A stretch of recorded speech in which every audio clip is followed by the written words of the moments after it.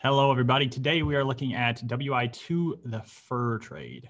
So we're looking at a time period for the most part before America existed, um, when we're still under the British colonies and some of the trade going on with the French as well. But it will expand into the United States as well. So when we look at the fur trade, we're not looking at it from a European perspective. We're trying to see it from a Native American perspective. And I think it's really important to look at it from that perspective because normally we don't get to see that and that's not something that's brought up. And so we're going to see this in terms of what does it do for the culture of Native Americans to have this trade for the first time with Europeans and then Americans, and how does that impact their life? So here we go. All right. To begin, what you have with the fur trade is you have this meeting of cultures, sometimes for the first time. Both sides saw that there was a benefit. For Europeans, fur was very popular for clothing. For Native Americans, Europeans had goods that they couldn't produce, things like a metal pan, for example, that they simply couldn't produce. And so you have these two worlds coming together. And at first, you don't even have communication. Um, it's going to take time before some Native Americans learn English or French, and some of the French and, and English learn some of the, the phrases and things of Native Americans. And so it's a very interesting mix at first um, it's going to be a partnership, but it's going to be a partnership with both sides have very different views and understandings of the world. And that's going to cause some conflict. So to begin, here's what we have. We're going with your notes for WI2, and we'll just do a little bit of time. In the 1600s, American Indians met with trappers who wanted to trade. And where were they from? Well, they're from France, Britain, and the Netherlands, as you can see on the map here. And so you have people coming over with the specific purpose of trapping beaver, trapping other animals, and bringing them back to use the fur for things. And there's going to be two different philosophies on life here. You're going to have Native Americans who see the natural world as their home, as a place to get the resources they need to survive, but it's also something to be conserved and to be respected. On the other hand, you're going to have the French and the United Kingdom and Netherlands coming in, and these are commodities. Uh, furs are things that they need for trade to do better and they see this as an item. And therefore, when they come into the forest in North America, they're not thinking about how do we conserve this? How do we make sure this is a good place for future generations? They're thinking about profit. And so we're really seeing here Europeans are thinking profit, Native Americans are thinking livelihood and their homes and where they live. And so they're both going to look at the woods and these animals very differently. So, why do Europeans want it so much? This was fashionable fur, right? You can see all these different kinds of hats that people wore. You know, fur was something people, women would sometimes wear that was popular as well, all that kind of thing. But it had a practicality to it as well. Um, beaver skin was water repellent. And so you did see some farmers and others that would want these kind of things because it would be better for them uh, in terms of trying to, well, I'm to flip over here, trying to keep themselves in good conditions. Um, but it was very popular and therefore there was a large demand for it. And whenever there's a large demand for resources, you're more likely that the resources are going to be exploited. And that's kind of what we saw with the fur trade. So why do American Indians like this? Well, American Indians gain valuable trade items in return. Metal knives, iron kettles, cloth, glass beads, guns, all these things. Now you might look at that and say, wow, those are amazing. Well, yeah, they are for Native Americans think about a knife, a metal knife, for example. If you don't have the ability to forge iron or forge metal, what are you making a knife out of? Bones? Rock? You ever try to make a rock rock into a knife? That's not easy. Um, bones are somewhat fragile. And you know, a kettle. You know, for Native Americans, what are they warming up water and other materials in?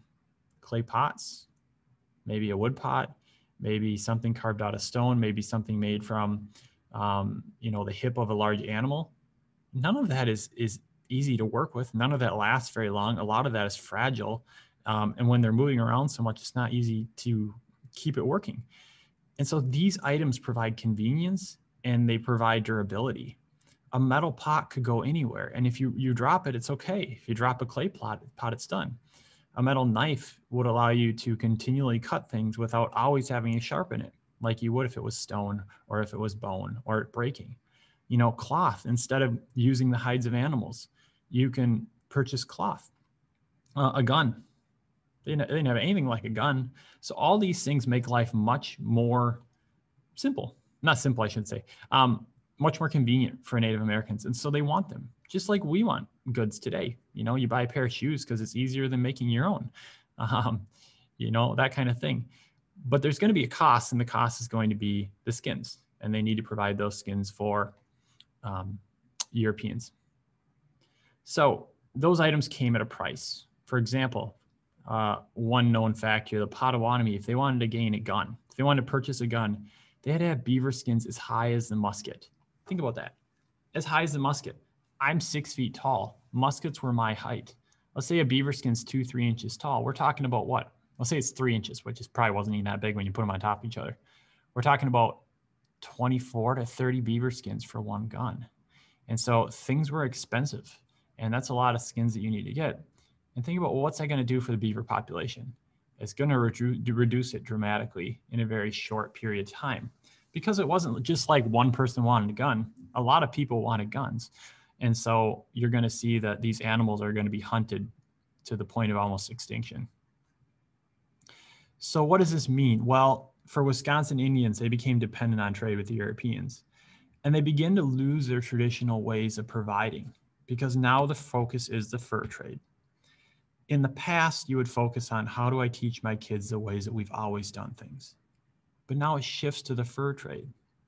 And so, you know, fishing and spear fishing, which was big with the Ojibwe, um, that was part of their culture and how they gained food. And children would spend many hours with their parents learning that. Um, gathering the wild rice was extremely important. It was a source of great nutrients for them. And hunting in general was something that was very big for them. And it's not that when the fur trade occurred that these things stopped, but they weren't focused on. The focus now was getting the furs to get these other items. And so slowly you see generations of Native Americans losing some of these skills, forgetting these abilities and how to work with it because they're not spending so much time with it. They're spending time on the fur trade instead. And that's going to be a problem down the line because at some point the beavers are going to run out and then you're going to be in a situation where you need to go back to your old ways. But it's a question of do you remember them and do you still have those skills? And if you don't, you're in a sore spot. So a modern day example would be this Ellsworth. All right. If you go back to my dad's generation in Ellsworth, most kids going to school were farming children. Okay, go back 30, 40 years, almost all, probably 90% were farming children. And you learned to live off the land. You learned how to farm. You learned how to use machinery. You knew how to do it so that if you had to do it the next generation, you were good to go because everybody was taught it because you lived on farms. Well, now we see a shift and we see more people in Ellsworth are working in the cities and they're working at office jobs and things like that, which is totally fine. There's definitely nothing wrong with that. But what if we had to go back to all of us farming? How much would that impact the world around us? It would be a dramatic change. And I would argue that, you know, a lot of people in Ellsworth would not be able to do it because they've not grown up with these skills. And so when you look at the Native Americans, when they focus all on trading, all of a sudden, when that's gone, the beaver furs aren't coming out anymore. All of a sudden, you're, you're like, well, I got to go back to what we used to. Do, but it's been generations. And for some of these people, they don't necessarily have those skills.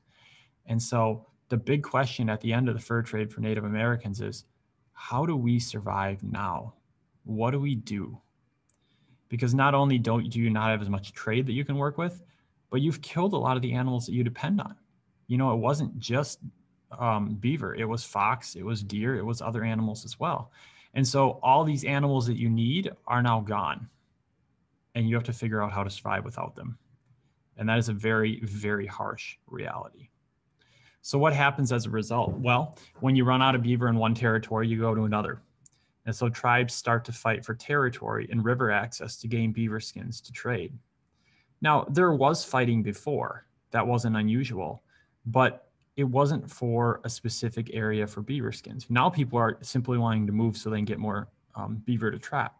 And so you see groups of Native Americans fighting against each other, and the Europeans are starting to play a role as well, and they're choosing one side over the other depending on the situation.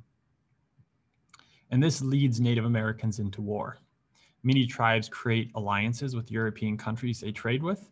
And so when the French and the British go to war in the French and Indian War, Native Americans are a part of it. When the British fight against the colonists in the Revolutionary War, Native Americans are a part of it on both sides. And so the introduction of Europeans to America means not only a change in how you live, but also warfare on a larger scale than they had possibly seen. And so these are, are big culture shocks for Native Americans. They're trying to figure out who to work with with Europeans. But the biggest thing we see is they become dependent. Um, they become dependent on European goods. And as we saw from the intro reading, they become dependent on European alcohol, unfortunately. And we see that um, alcohol addiction becomes a major problem. And traders and others use this to gain more goods from the Native Americans, maybe to their unfair advantage.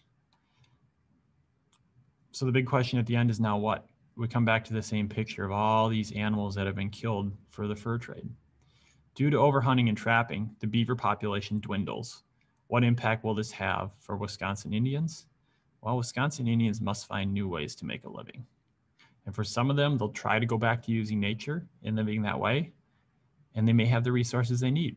For others, the resources are lacking and that's going to mean they're going to need to rely on the colonists, the British colonists, and then the American government in terms of getting what they need. Um, and that's going to be a very, very tough uh, relationship, to say the least. So that's where we're at right now. You can work on your journal entry for this section, and we'll see what comes next. And what's going to happen next is once the Americans come in and have become a country, they're going to start making treaties with the Native Americans. And we'll see how that pans out. So have a great day. And as always, talk to your teacher if you have questions.